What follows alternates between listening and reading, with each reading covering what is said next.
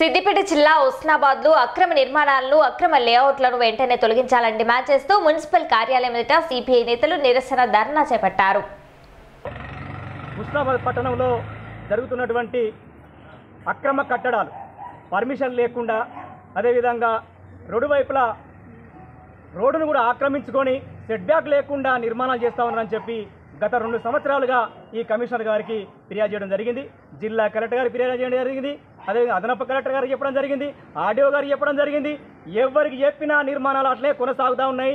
లంచాలకు మరిగిపోయి municipal అధికారులు అట్లా నిర్మాణాలకు సహకరిస్తూ ఉన్నారు.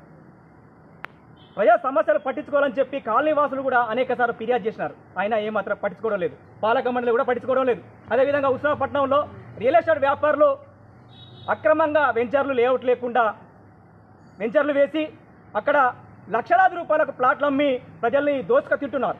ఇది సరైనది కాదని చెప్పి అది రేపు మళ్ళీ పర్మిషన్ పెడితే పర్మిషన్ కూడా రాదు కాబట్టి ప్రజలు ఇబ్బంది పడుతున్నారని చెప్పి ఆలోచించి ప్రజలకు చెప్తే కూడా వీళ్ళు అధికారులు పట్టించుకోవడం లేదు. జిల్లా కలెక్టర్ గారు చెప్పినా జేసీ గారు చెప్పినా టూటూ మంత్రిగా ఒకరిద్దరికే ఆ వెంచర్ల వాళ్ళకి నోటీసులు ఇచ్చి రీ మన సబ్ రిజిస్టార్ తోటి కుమ్మక్కైపోయి మున్సిపల్ అధికారులు తర్వాత రియల్ ఎస్టేట్ వ్యాపారులు అయిపోయి కోట్లాది రూపాయల భూములు మొత్తం వి- విపరీతంగా అమ్ముకుంటున్నారు. ఇది సరైనది కాదు. వెంటనే పాతినటువంటి ఉస్మాపట్నంలో ఉన్నటువంటి కాలనీలలో ఉన్నటువంటి అవన్నీ అభివృద్ధి తొలగించని చెప్పి సిపిఐ పార్టీ డిమాండ్ చేస్తాం లేకుంటే ఇంకా పెద్ద ఎత్తున ఆందోళన చేసి ఇంకా ఆఫీసు స్తంభింపజేస్తామని చెప్పి హెచ్చరిక చేస్తా ఉన్నాం. నిర్మల్ జిల్లా మూదోల్లోని సిద్దికి ఫంక్షన్ హాల్లో ఆదివారం సాయంత్రం పవిత్ర రంజాన్ మాసాన్ని పురస్కరించుకుని ప్రభుత్వం ఆధ్వర్యంలో ముస్లిం సోదరులకు ఇఫ్తార్ విందు ఏర్పాటు చేశారు. ఈ సందర్భంగా మూదోలు ఎమ్మెల్యే జి. విఠల్ రెడ్డిని ముస్లిం మత పెద్దలు శాల్వాతో ఘనంగా సన్మానించారు.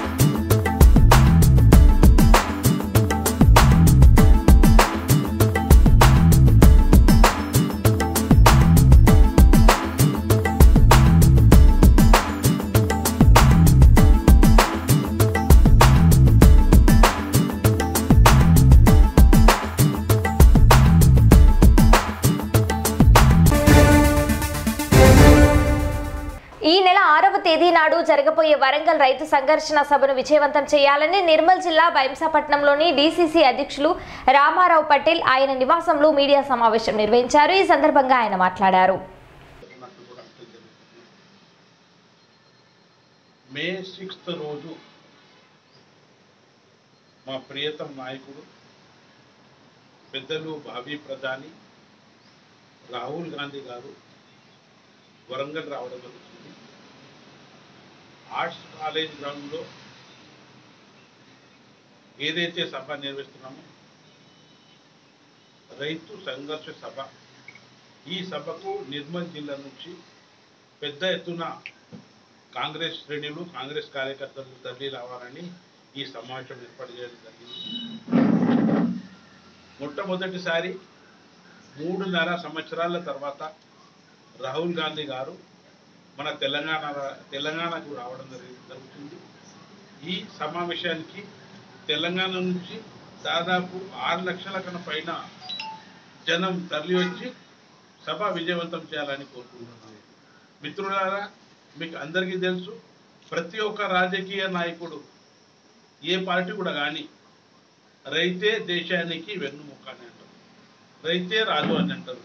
కానీ ఈరోజు మా తెలంగాణలో రైతుల మీద ఏదైతే అన్యాయం జరుగుతుంది వరి కొనుగోలు చేయకొచ్చిండ్రు వరి కొనుగోలు చేస్తే ఆ మినోళ్ళు పర్సంటేజ్ మాయిశ్చర్స్ కట్ చేస్తున్నారు.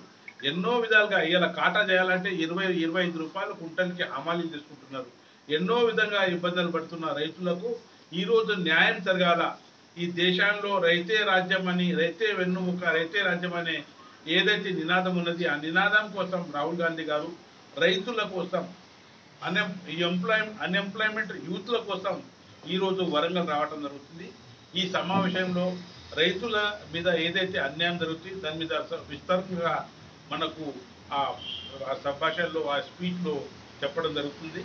నేను ఒకటే కోరుకుంటున్నాను నా నిర్మల్ జిల్లా నుంచి వేరే ముప్పై రెండు జిల్లాల కన్నా మా నిర్మల్ జిల్లా నుంచి పెద్ద ఎత్తున కాంగ్రెస్ కార్యకర్తలు తల్లి రావాలని కోరుకుంటున్నాను. జై నిర్మల్ జిల్లా మూదోల్ మండల కేంద్రమైన సిద్దికి ఫంక్షన్ హాల్లో శనివారం సాయంత్రం పవిత్ర రంజాన్ మాసాన్ని పురస్కరించుకొని పోలీసుల ఆధ్వర్యంలో ముస్లిం సోదరులకు ఇఫ్తార్ విందు ఏర్పాటు చేశారు. ఈ సందర్భంగా సీఐ వినోద్ రెడ్డి ఎస్ఐ తిరుపతిలను ముస్లిం మత పెద్దలు షాల్వాతో ఘనంగా సన్మానించారు.